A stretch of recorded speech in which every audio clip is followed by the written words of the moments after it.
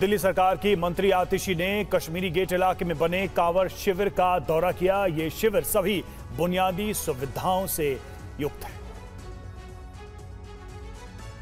दिल्ली सरकार ने कश्मीरी गेट के अग्रसेन पार्क में कांवड़ शिविर लगाया है। इस शिविर में बीस हज़ार कांवड़ियों के रुकने का इंतज़ाम किया गया है। कांवड़ियों के लिए वाटरप्रूफ टेंट का भी इंतज़ाम किया गया है।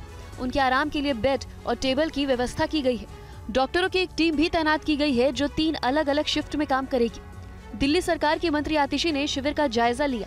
देखिए यहाँ पर जो दिल्ली के राजस्व मंत्री हैं आतिशी वो यहाँ पर पहुँची हैं और यहाँ पर किस तरह की व्यवस्थाएँ हैं उसका जायज़ा लेने के लिए और जिस तरह दिल्ली सरकार का दबाव भी है देखिए डीजीएस की तरफ़ से यहाँ पर ये मेडिकल जो है यहाँ पर स्टॉल लगाया गया है कैंप के अंदर व्यवस्था की गई है। दिल्ली में एक सौ कांवर शिविर लगाए गए हैं। शिविरों में हर प्रकार की सुविधाओं के पुख्ता इंतज़ाम किए जा रहे हैं ताकि कांवरियों को किसी भी तरह की कोई परेशानी न हो। आठ से दस हज़ार व्यक्ति एक समय पर यहाँ पर रुक सकते हैं। पुरुषों के लिए यहाँ पे अलग अरेंजमेंट है, महिलाओं के लिए अलग अरेंजमेंट है। पूरा पानी का इंतज़ाम टॉयलेट का इंतज़ाम टेंट का इंतज़ाम डॉक्टर्स का इंतज़ाम किया जा चुका है।